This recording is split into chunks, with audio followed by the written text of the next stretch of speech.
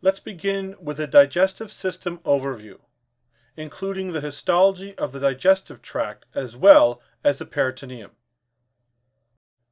The digestive system or alimentary canal is made up of the following. First, the oral cavity, which is where food is processed, mechanically separated, and early enzymatic action takes place. The pharynx contains the epiglottis, and this separates the airways from the esophagus during swallowing. The esophagus itself is a tube that transports food to the stomach. The stomach then digests the food via enzymes and mechanical mixing. The small intestine further digests, absorbs water and micronutrients.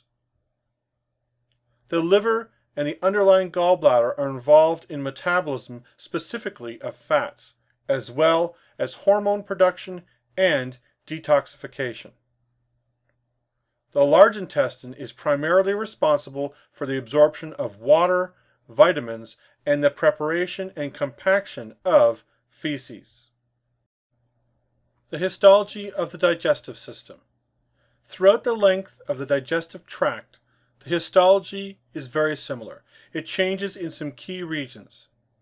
Muscular layers within the wall of the intestines and the digestive tract facilitate mixing movements and propulsion of food. Shown here in the diagram is a cross section of the intestinal wall. The lumen is in the center. The muscularis mucosa and submucosa are surrounded by circular and longitudinal muscle layers. The wall can be divided into four main concentric layers mucosa, submucosa, the muscularis externa, and the serosa. Within the mucosa are folds known as plica.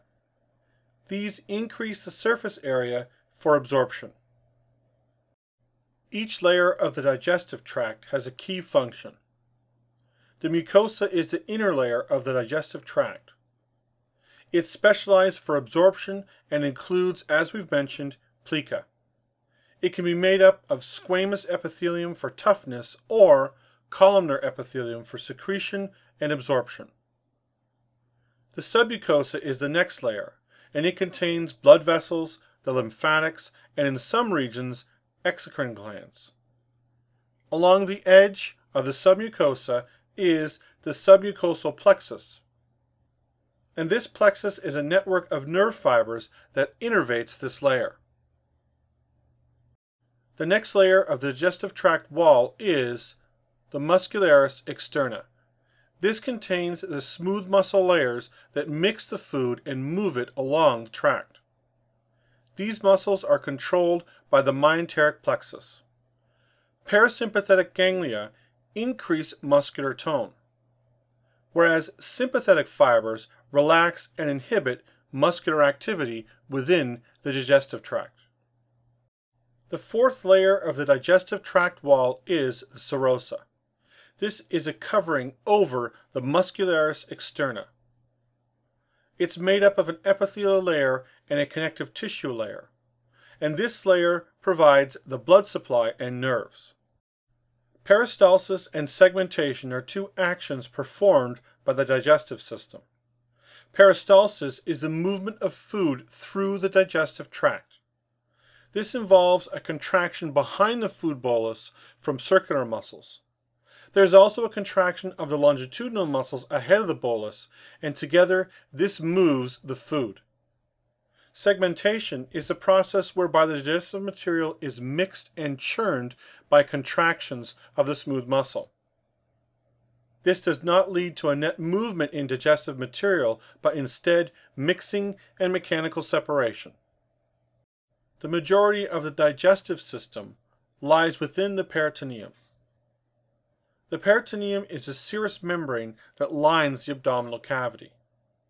And the organs within the peritoneal cavity are divided into three main regions. Intraperitoneal, where for example the stomach and liver are, retroperitoneal, where the kidneys and ureters are, and secondarily retroperitoneal, as in the pancreas. Within the peritoneal cavity are sheets of serous membrane in which regions of the digestive tract are suspended. For example, the dorsal mesentery of the stomach forms a pouch known as the greater omentum, and this thick layer provides energy and insulation. On the ventral surface of the stomach, between the stomach and the liver, is the lesser omentum.